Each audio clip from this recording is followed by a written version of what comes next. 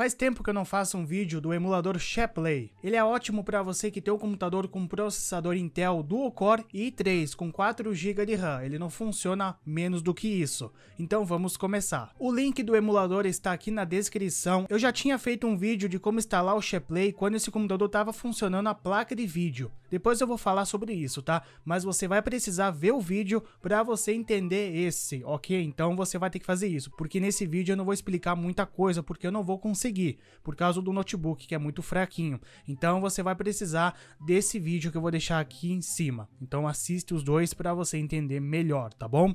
Então o link do emulador é esse, é oficial, o sheplay.com. É só você clicar aqui, ó, em baixar Sheplay e você desce a página e vai estar tá aqui o download. É só você clicar em cima e ele vai estar tá baixando aqui para você, ó. Se você tá no Chrome, ele vai estar tá baixando assim, ó, é bem rápido. O emulador pesa 3.5 GB. Ele é bem pesadinho, mas ele é muito bom mesmo. Então vamos fechar tudo isso aqui. Eu fiz um vídeo instalando no notebook da Samsung, né? Eric, funcionou? Não. Ele instalou, baixou, mas não dá para jogar, não tem condição, trava muito. Porque ele tem um processador Intel Pentium, é muito mais antigo, né? Mas se você tem um i3, um dual core, um processador mais novo, ele vai funcionar. Então não me xinga, não dá dislike no vídeo. Então o culpado é o seu computador se não funcionar. O vídeo vai funcionar bem. Para mim também não funcionou, eu não vou esconder nada. Ah, funcionou. Eu vou falar que não funcionou, é porque não deu certo mesmo. Mas o emulador é muito bom. Então assiste esse vídeo aí que eu fiz do emulador nesse meu notebook.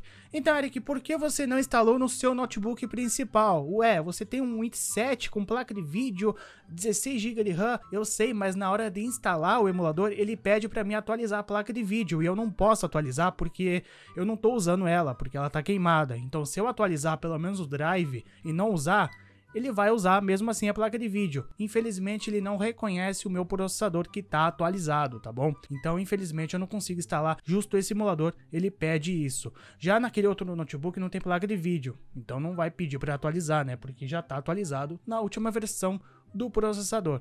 Então, deu esse BO aí porque é complicado, tá? Então, desculpem pela qualidade do vídeo. Para instalar é muito fácil, você vai lá no ícone, clica com o botão direito do mouse e vai executar como admin. Ele vai pedir para você executar, né? Então, você clica em sim. E ele vai abrir o setup de instalação. É só você clicar nesse botão, instalação rápida, e ele vai baixar e instalar para você. Assim que terminar de baixar, ele vai abrir automaticamente. Se para você abrir e não vai, e não vai, esse número aqui ó, ficar bugando, você desativa seu antivírus. E você tenta reiniciar o emulador ou o computador. Ele é capaz de bugar, tá bom? Então fica ligado aí nessa hora. Mas o emulador é muito bom, tá? Eu já usei esse emulador quando esse notebook estava funcionando bem, a placa de vídeo.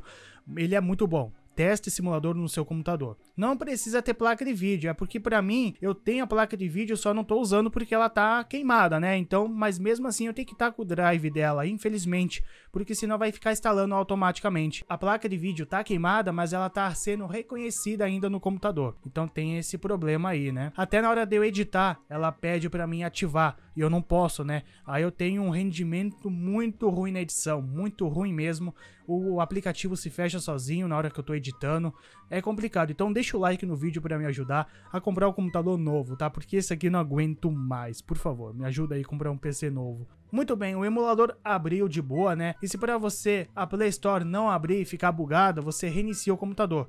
Aqui para mim bugou bastante porque eu tava também com Wi-Fi mais simples, né? Então eu conectei via cabo, aí ficou muito melhor. E também o emulador tava travado, ele não tinha inicializado ainda completamente, ele tava bugado ainda. Mas para você aí vai ficar perfeito. Aí depois eu fui lá e fiz login, né, com a minha conta da Play Store. Eu recomendo você usar uma conta de teste, porque se dá alguma coisa, de vazar algum arquivo seu, alguns dados, aí vai ficar complicado, né? Então pega uma conta que você fez que não tem nada salvo, nem cartão de crédito, nem uma conta de banco, nada de pagamento, tá? Uma conta lisa e sem nada. Aí você vai lá e faz login na sua conta de teste, tá bom? Não precisa ser sua conta do próprio jogo, não precisa ser. Depois que você fez a sua conta, ele vai aparecer essas opções, né, mais antigo, esse aqui é o sistema antigo do Google, mas ele vai funcionar também. Aí vai abrir a Play Store. Se para você aparecer o sistema de login bem antigo mesmo, é só você tentar fazer login. Bota sua conta de teste certinho e pede para você avançar. Aí você avança e vai ficar tudo certo. É muito fácil fazer isso aí. Aí você aceitando as coisas, tudo certinho, você vai vir na Play Store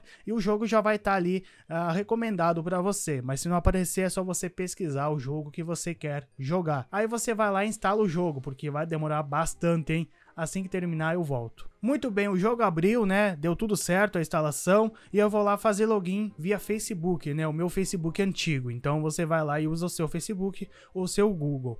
Então você vai lá, faz login e vai ficar tudo certo, né? Assim que você terminar de fazer login, você já pode abrir o jogo, né? Que ele vai funcionar muito bem. Já nesse computador, olha que travado que ficou. Olha a roupa do, do personagem. Olha a situação desse notebook. Mas, Eric, esse notebook não funciona nem o emulador, então. Eu testei o Smart Gaga modificado nesse computador e eu consegui fazer um boiar. Foi tudo com boot, mas eu consegui fazer um boiar. Não bugou nada. Até o final da partida consegui jogar e fazer um boiar, né? Então ele funcionou muito bem. Se você não assistiu esse vídeo, eu vou deixar aqui nos cards também, junto com o vídeo eu instalando o SharePlay no meu computador principal quando tinha placa de vídeo, né?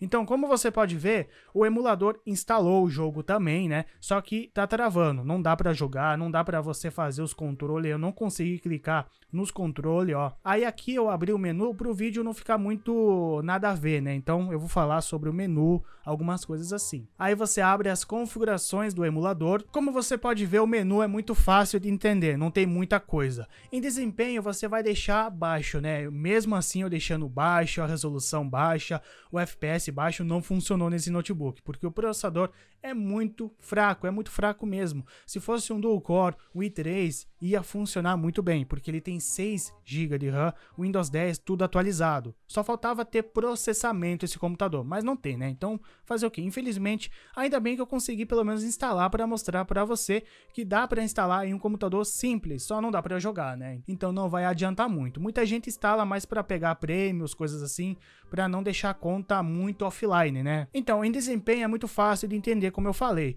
Você vai deixar no baixo, médio ou alto, você pode personalizar botando você mesmo os núcleos do seu CPU, né? Ou a memória RAM. Esse processador, o Pentium, ele tem dois núcleos. Eu estou usando um, né? E ele tem 6 GB de RAM e eu estou usando um no emulador. Se eu usasse mais GB, acho que no emulador, ia funcionar mais, hein? De vez usar 1024 MB, que é 1 GB, né? Então 1 GB é como se fosse 1000 MB. Então, e acho que ia funcionar mais se eu usasse aí uns 4 GB.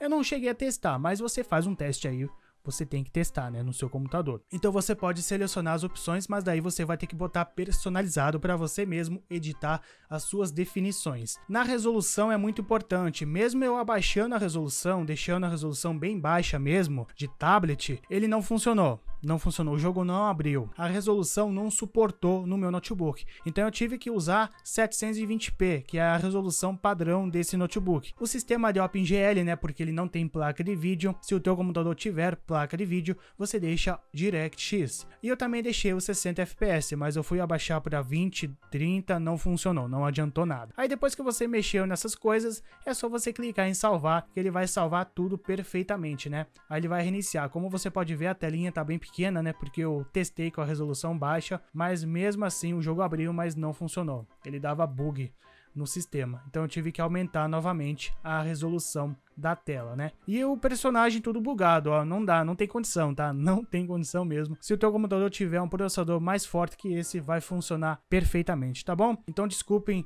por não ter mostrado o sistema de configurações do jogo, o emulador, o sistema de mapeamento, né? Esse vídeo aqui é mais para atualização, né? Falando sobre o SharePlay. Muita gente falou, Eric, traz o SharePlay, por favor. Aí eu falei, eu não consigo mais instalar ele no meu computador, só quando eu comprar um computador novo. E é isso, né? Quando eu comprar um computador novo, eu vou conseguir fazer vídeo jogando mesmo pra valer nesse emulador SharePlay. Então é isso, valeu, obrigado quem assistiu até aqui, tamo junto sempre.